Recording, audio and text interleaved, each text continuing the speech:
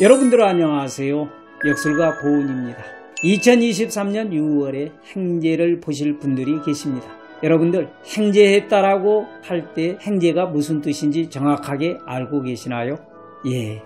한마디로 공짜 재물이라는 뜻인데요. 이 세 개 띠는 이번 7월에 재물을 거저 얻을 수 있습니다.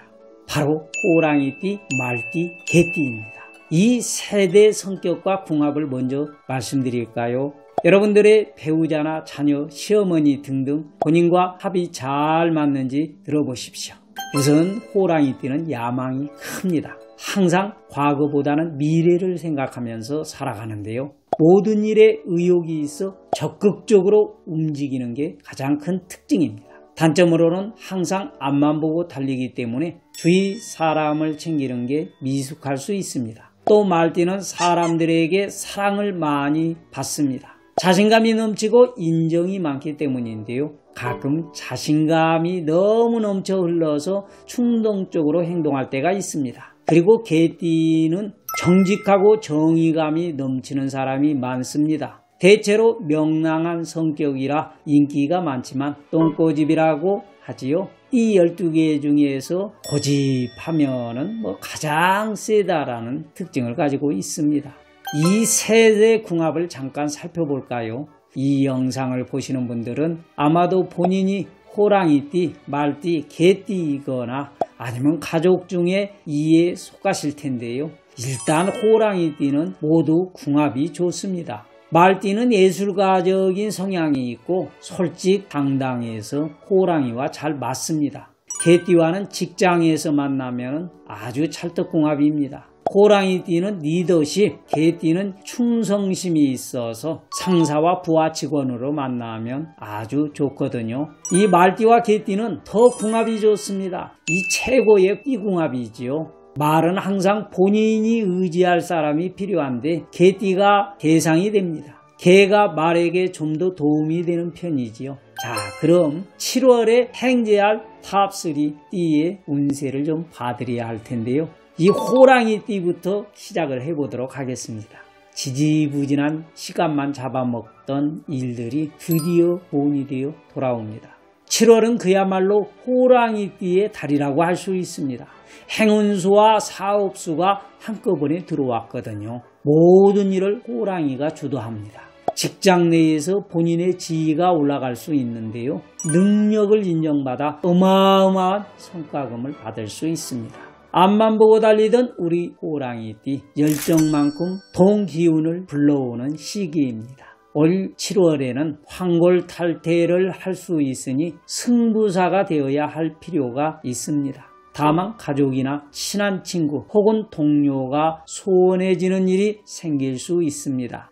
아무래도 일이 바빠서 그런 것 같은데요. 주변을 잘 돌아보시는 게 중요하겠습니다. 이 호랑이띠 중에서 행재운이 강한 나이가 따로 있습니다. 1974년 갑인생 50세의 호랑이띠입니다. 대운이 열려 돈이 돈을 부르는 시기를 맞을 주인공이십니다. 본인이 현실에 타협한다고 생각했던 것이 이 뜻하지 않게 대박을 터뜨리게 될 것입니다. 주위에서 인정을 받을 수 있고 아니면은 재테크에 성공할 수도 있습니다. 축하드립니다. 우리 말띠 분들은 올 상반기에 혼란스러우셨을 겁니다. 좋은 일도 있고 나쁜 일도 있었을 텐데요. 버는 것도 많이 벌었지만 지출도 꽤 크셨을 겁니다. 하지만 너무 낙심할 필요는 없습니다. 이번 7월은 크게 벌 수 있는 기회가 들어옵니다.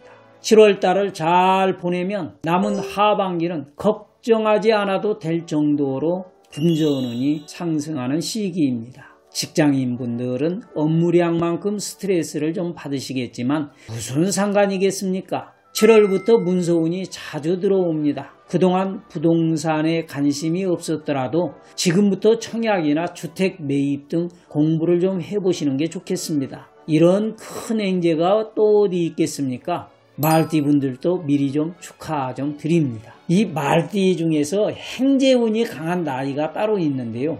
몇 년생일까요? 바로 1966년생 병호생 58세가 되는 말띠입니다. 그야말로 만사 태평입니다. 올 7월부터 재물운과 직장은 모두 좋아질 것입니다. 근무하시는 직장에서는 가만히 있어도 다른 사람이 도와주니 금전적인 이득을 보게 될 것입니다. 돈은 버는데 돈이 나갈 일이 줄어듭니다. 덕분에 넉넉한 곳간으로 남은 2023년 개묘년을 보내게 될 것입니다. 다만 이 모든 것은 지금처럼 노력을 멈추지 않을 때 이루어질 수 있습니다. 속으로 안심하고서 게으르게 하루를 보낸다면 길한 운세가 들어와도 아무 소용이 없습니다. 부지런히 움직여야 합니다. 우리 개띠분들도 7월부터 운이 상승세를 타게 됩니다. 전화이복이라고 하지요.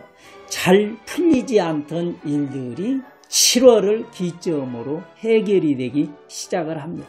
그런데 이 해결이라는 것이 단순히 본전만 찾는 것이 아니라 오히려 득이 되려 돌아온다라는 겁니다.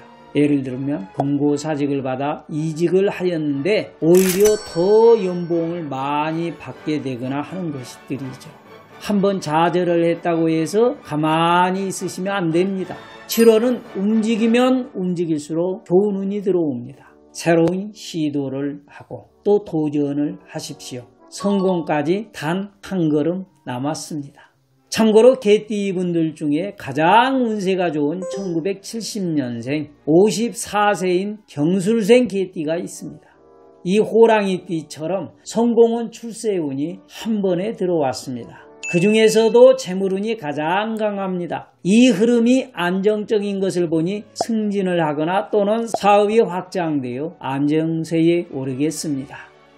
지금까지 문서운 사업은 출세운이 들어온 7월의 행제띠에 대해서 여러분들과 함께 알아보았습니다. 이 도움이 되시는 분들은 좋아요, 구독 한 번씩 눌러주시면 제가 더 좋은 영상을 준비해서 여러분들에게 또 말씀을 드리는데 큰 힘이 됩니다.